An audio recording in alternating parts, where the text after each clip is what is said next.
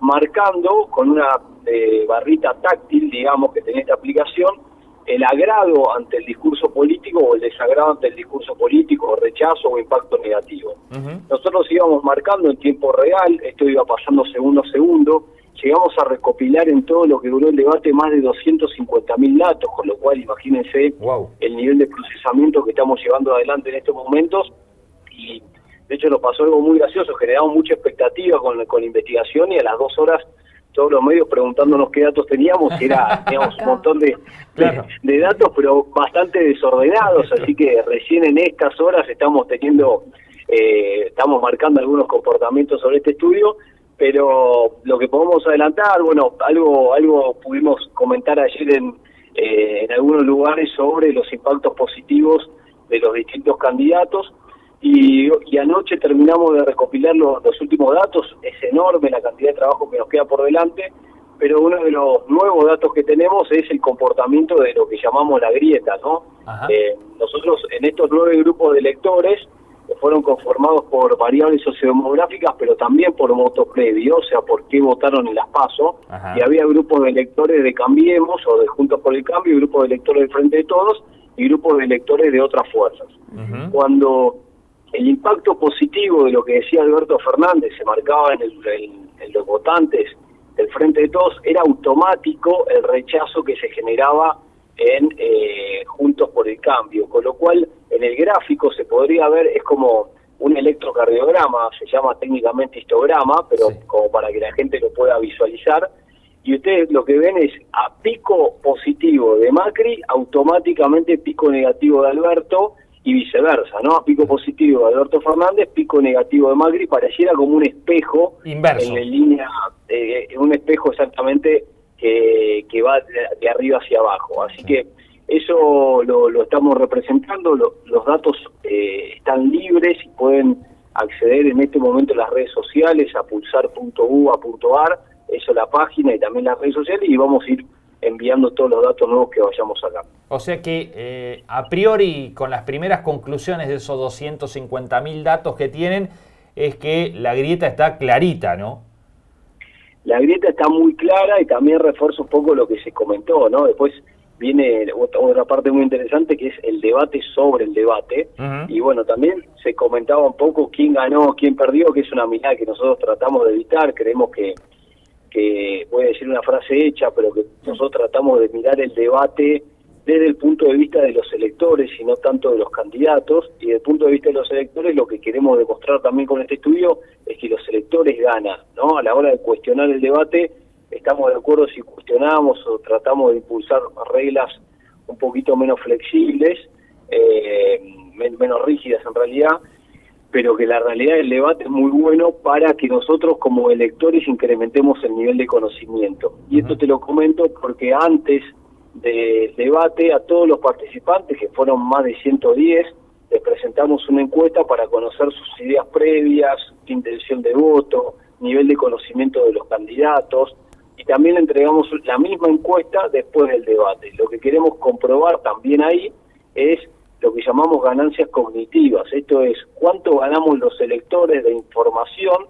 aunque esto sea para ratificar nuestras ideas previas. Y eso ya nos parece una cosa bastante importante dentro de, de un contexto y de un proceso electoral. Bueno, claro, habrá muchos electores que habrán descubierto algún candidato y sus ideas durante los dos debates, ¿no?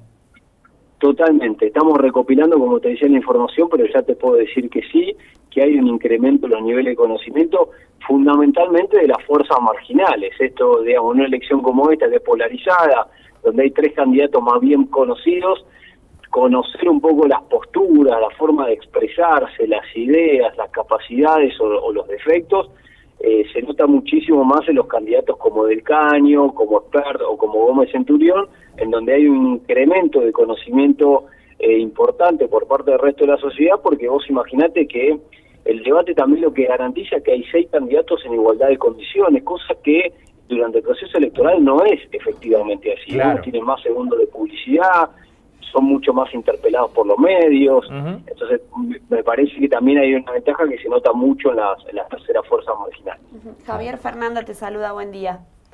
Buen día, Fernanda. Bueno, muy interesante esto que decís, ¿no? Porque uno por ahí eh, entiende que del debate quedan sensaciones o, una imagen más positiva o negativa de acuerdo a si el candidato trastabilló más o menos, pero este posterior encuesta que realizan ustedes para ver si efectivamente hay un, un dejo cognitivo, como decís, es muy interesante. Te quería preguntar si esto, estos resultados, tal vez eh, puedan llegar a algunos de los equipos de, los candidatos, que a ellos les interese ver esto, como a partir de sus discursos, de, sus prácticas en el debate, que es muy acotado, puedan mejorar o puedan, no, no va a haber más debates de tantos candidatos, pero bueno, ¿qué, llegada tienen a los equipos? Mirá, es, muy interesante la pregunta por dos cosas. los equipos han, han, mostrado algunos interés, pero bueno, este es un proyecto de la Universidad de Buenos Aires, los, digamos, uno de, los requisitos que, nosotros planteamos, que plantea la UBA, es que estos datos sean absolutamente libres. Esto es de acceso, a medida que lo vamos, eh, los vamos procesando, de acceso absolutamente libre para el periodismo, para la sociedad, para los equipos de campaña. Esto quiere decir que el día de mañana probablemente cualquiera de ustedes que están ahí en la mesa podrían hacer un análisis independientemente de nuestra capacidad que tengamos de analizar estos datos o no. Así que eso queda libre, pero es interesante tu pregunta y la quiero remarcar porque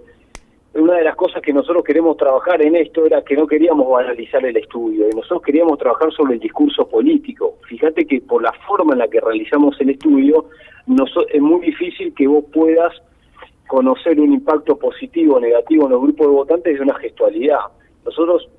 más allá de que es importante y que puede influir y que entendemos perfectamente lo que influye el voto emocional, no queríamos discutir del índice o del beso de aguada, recordarán en el debate anterior que le daba Macri cuando terminaba, sino que nosotros queremos, por lo, por lo menos nosotros, ¿no? Después cada uno puede hacer lo que quiera, pero nosotros queremos analizar el discurso político, cuáles son los temas importantes, el discurso político que nosotros llamamos prefabricado, ¿no? Ese eslogan, el marketing político y demás, genera impacto o genere y ese impacto es positivo o negativo, si este tema importa más que el otro, si la agresividad sirve o no sirve. Bueno, ese es el, el tipo de análisis sobre el que nosotros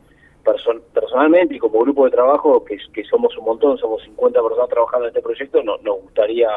focalizar, ¿no? Eh, Javier, buen día. Eh, Javier es mi nombre. Eh, de hecho, ah. en, términos de impacto, lo de Alberto Fernández, esto del uberizó la economía, con el ítems economía como la que más impacto positivo, y Macri diciendo esto de que la seguridad y la puerta giratoria y demás, o sea, economía y, justicia y seguridad han sido los de cada uno los, los caballitos de batalla. Pero te quiero preguntar, es la primera vez en Latinoamérica que se hace, tengo entendido, ¿de dónde sacan un poco esta, esta cuestión de, bueno, de en otro lado, en otro país se pudo realizar y bueno, traemos un modelo o al menos con, con nuestra idiosincrasia hacemos el mismo estudio. Sí, este estudio eh, nosotros no tenemos registro que se haya hecho en, Latinoamérica, en Argentina seguro que no, recordemos en Argentina los debates presidenciales son básicamente una novedad,